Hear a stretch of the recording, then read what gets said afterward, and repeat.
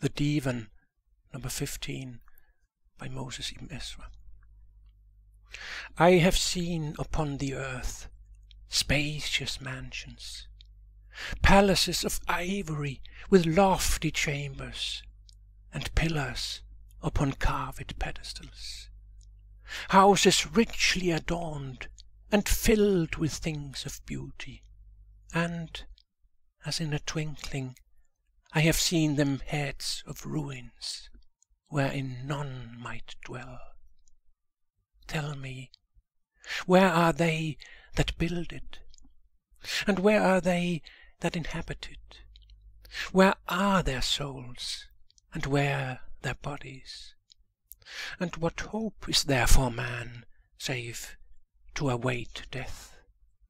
With the grave ever before his eyes, for time is a herdsman, and death like a knife, and all that live as sheep.